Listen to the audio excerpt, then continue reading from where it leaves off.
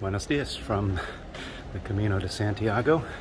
Today's day three, and I walked from Zubiri to Pamplona, and I'm just arriving in Pamplona and have to find the, uh, I'm gonna go try to stay at the municipal albergue uh, called Jesus y Maria, and um, I think it's right in the center of town, and uh, see if I can get in line for a bed.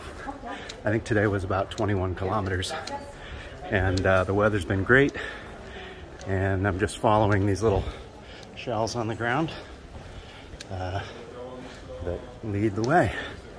And so here we are and I think this is kind of the older part of Pamplona. I think it's within the castle walls. Uh, so it's kind of nice to stay here. And I stayed here in 2019 at the at the municipal uh, albergue. So that's it, and uh, see you tomorrow.